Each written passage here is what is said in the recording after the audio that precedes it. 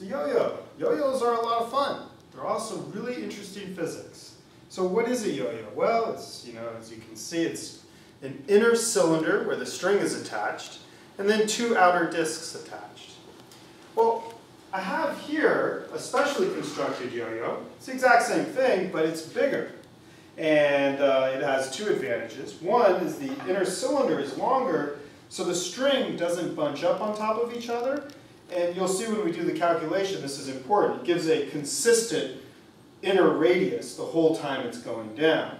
And the other nice thing about it being bigger is that the motion detector right here will uh, pick it up a little better.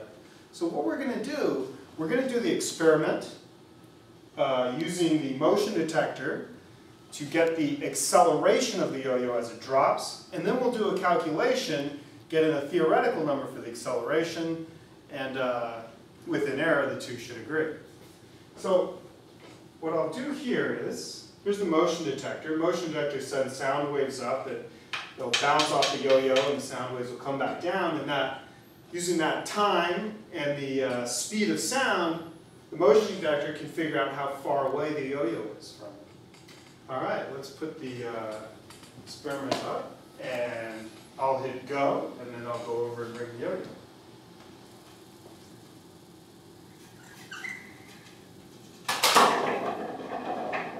There we go. So, what's going on here? Well, at first, I didn't have the yo-yo over the motion detector, so the motion detector was bouncing sound waves off the ceiling. So it's measuring the height of the ceiling, it's a little less than three meters, which seems about right. Then, I finally got the yo-yo over, I obviously jiggled a little bit, and then I released the yo-yo, and that's its position versus time as the yo-yo's in, uh, in flight. And we can see that the yo-yo is accelerating downward because we have a curved position time graph. That shows acceleration. Now let's take a look at the velocity graph, and let me just adjust the axes so we can actually see what's going on here. Let's make that a minus 1, make that a 1.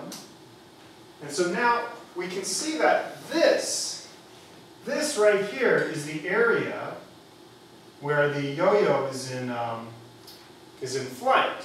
And so if we take the slope of the velocity time graph, that gives us the acceleration. And we see we have a slope of 0.3245. Excellent. Now let's do the calculation.